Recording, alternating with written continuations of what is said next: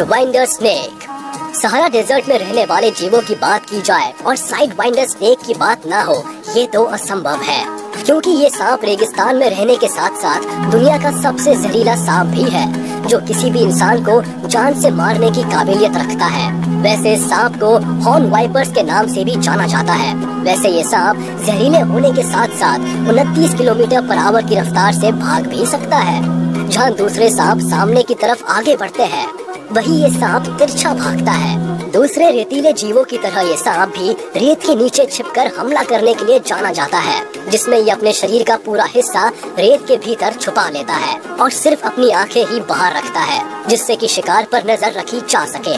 जैसे ही कोई शिकार इस सांप के करीब पहुँचता है, तुरंत ही ये सांप शिकार को जहरीला डंक मारने के बाद निकल जाता है। वैसे सांप को छिपकली और चूहों के साथ साथ दूसरे छोटे जीव भी पसंद होते हैं